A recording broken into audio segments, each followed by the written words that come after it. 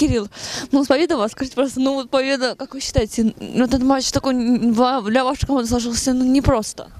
Ну, насчет не просто не скажу, потому что соперники довольно хорошо к игре подготовились, но в то же время их пришло слишком мало, и для, замен просто не хватило народу. И так как у них не было замен, естественно, они подустали и сбавили потом. Ну, хотя они первыми открыли счет. Вот. Когда вы первыми пропустили, что, что случилось с командой? То есть это была какой-то, так сказать, реконцентрация или что случилось? Ну, мне кажется, концентрация все-таки, потому что ну, нам уже просто надоело проигрывать, грубо говоря. Вот. Ну и наконец-то мы выиграли первую игру в высшей лиге. Вот. Спасибо всем. За чего все-таки вам удалось сегодня победить, переиграть соперника? А, За счет выносливости, я как уже сказал, что соперников пришло уже ну, на порядок меньше, чем нас.